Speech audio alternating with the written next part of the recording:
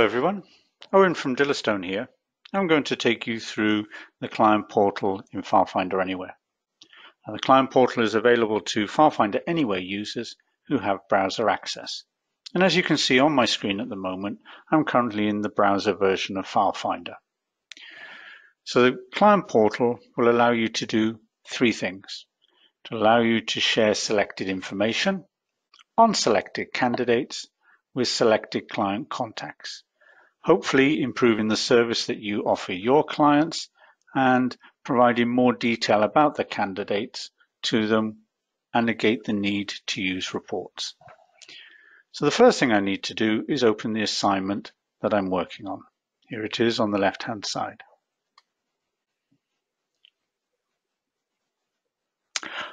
Once I'm in the assignment, First thing I need to do is define the level of information I wish to share with clients. I go to the Actions button and I choose Settings.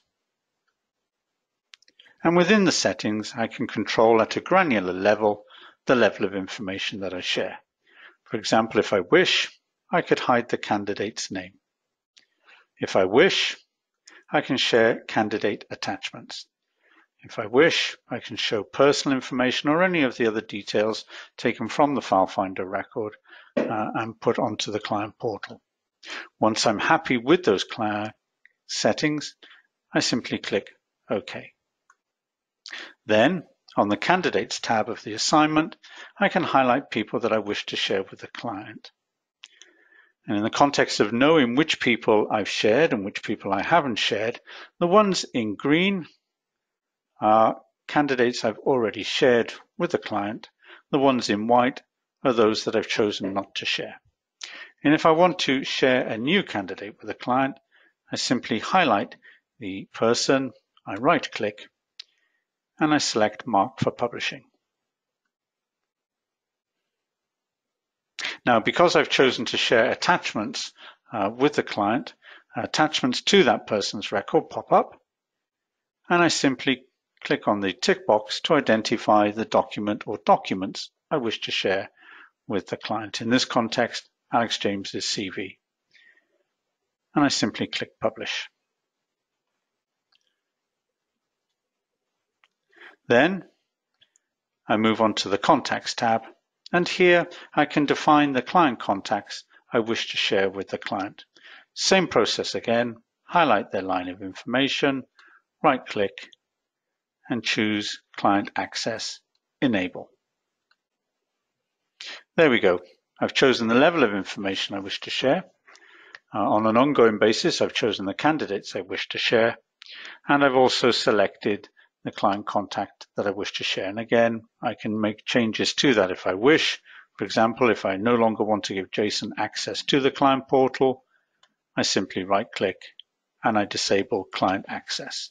Similarly, again, on the Candidates tab, if I choose to take away a candidate from the client portal, I highlight their line of information, right-click, and mark for publishing No. Once all my changes have been done, I need to publish. And again, I go back to the Actions button, and I select the Publish option. And any changes that I've made, are immediately updated. And in terms of my client contact, they will now receive an email with the link to use the client portal site, their username, and the opportunity to create their password. And if I wish, now that's done, I can choose to preview the view my clients will get on the client portal here. I click on View on Portal, and a preview tab pops up. Now the preview tab has uh, all the information that the client will see once they log on. On the first page, they will get a breakdown of all the different candidates within the assignment and their status based on those that I've chosen to publish. They will get a list of the team uh, who is dealing with this assignment, any documents that I've chosen to share regarding this assignment, and if the client has access to more than one assignment, those assignments will be listed here and I will be able to flit between the different assignments. Now, in terms of the color scheme here, you, um, it's very bland, it's very basic, as I'm just demonstrating the product today. And you'll be able to uh, change the color scheme and the branding to suit your organization. And from there, I can move on to the Candidates tab, where I can review information about the different candidates in this assignment. Now, in the context of this assignment, I've shared quite a few candidates. So if I wish, I can click on the Progress Code button here and choose the candidates that I wish to see. For example, if I wish to see those long list candidates, I simply click there. And there's Alex James, the person that we recently published in FileFinder candidates to this assignment. And it's got all the information I've chosen to share with the client, including his resume CV, and I simply click on the link here to open that person's uh, CV. And also as the client, if I wish to give immediate feedback regarding this candidate to the team, I simply click on send feedback there we go. The email will go to the team leader regarding this assignment and this candidate. And as the client, I can now pop in my message.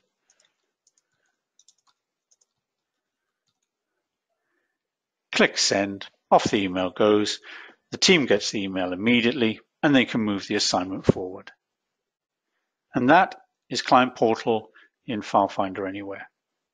If you have any further questions about this, please contact your account manager. Thank you so much for your time and have a lovely day. Bye bye now.